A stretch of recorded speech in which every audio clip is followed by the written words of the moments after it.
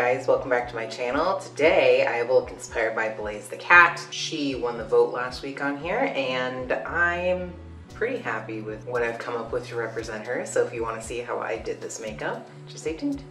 Okay, so I don't have this wig as part of my wig tour, so it's not gonna be there, but I think I'm gonna name it Flow. Anyway, my contacts are the Akaten Yellow from Nunique, so I do have a discount code for them. I believe it's just Graveyard.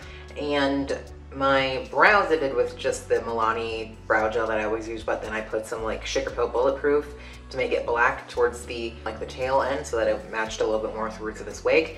And then I just did a little bit of concealer and powder as per usual because no hate foundation. And I did the Beyond the Pale Ashen and Anne Contour and Polish Bone Highlight, both from Apocalyptic Beauty, discount code down below. Also, I guess speaking of discount codes, uh, I always have one for Unearthly Cosmetics down below as well, and I'm gonna be using this today. This is the Sorry Mom Magnetic Palette, and I put inside, which, by the way, it comes empty, it's just a magnetic palette. I put the face bundle in there though, so this is also from Unearthly Cosmetics, and look at me in the eyes and tell me that these two are not the most Blaze the Cat colors ever. So we're gonna use those and let's get started. I'm really gonna go ahead and start with this NYX Jumbo pencil in Milk and I'm gonna start by putting this all over my lid to kind of just prime it. All right, I'm gonna go ahead and smooth that out with the Unearthly Cosmetics brush uh, UC84. Okay, and same brush, I'm just cleaning it off a little bit. I'm gonna go ahead and set the inner portion of the eye, probably over to the halfway mark using Tako by Sugar Pill.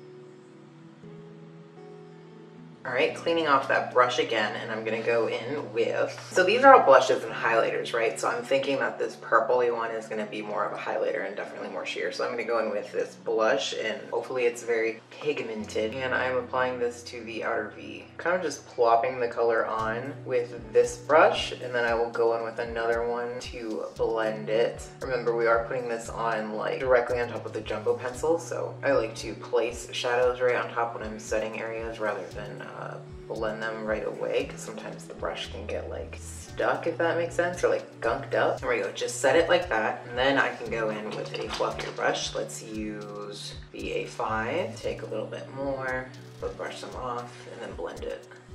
Right now I'm gonna go in with the purple. I'm going in straight with that fluffy brush this time. And I'm gonna like kind of overlay this in the center of the lid. Yeah, I expected this to be a very soft color, so this is like a good transitional shade with a little bit of shimmer in it. Okay, and while I still have this palette out, I think that I'm gonna run a little bit of the pinker shade underneath. All right, next we're gonna go in with the Witching Hour palette, also by Unearthly Cosmetics, and I'm gonna be using Potion down here, which is like a deeper matte purple. I'm gonna start with the same small brush, again, just to place this in the outer V, and then I will blend it.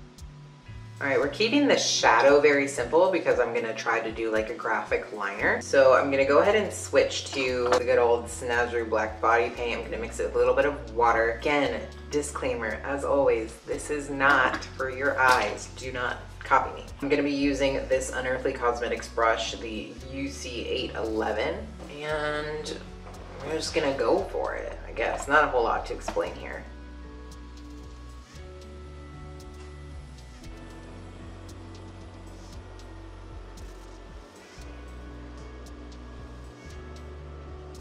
There we go, that's pretty cute, right? Okay, I'm gonna take a little bit of Bulletproof and I'm going to fade in this corner like I like to do and add a little bit of it to my waterline.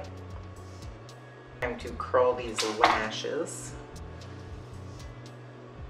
And I'm just applying CoverGirl Lash Blast Volume Mascara. Got that secret tunnel song from Avatar stuck in my head. I'm just gonna add like a little chunk of lashes to the outer corners. I think it'll help kind of elongate the eye and make it like a little bit more feline, if you will. And sort of while the glue is getting tacky, I grabbed my gem sheet and I have this one is like a fuchsia red that is like just the same color as what she has on her forehead and I'm gonna grab two of those and put them on the corners of my eyes.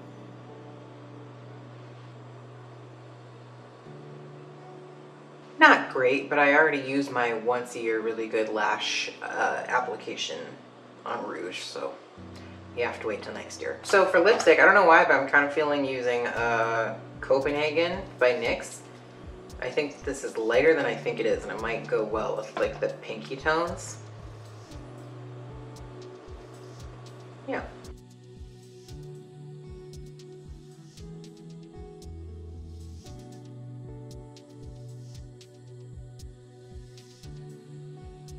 Alright guys, I really hope that you enjoyed this video. If you like this video, please leave it a like, subscribe if you want to see more, and I'll see you guys next time.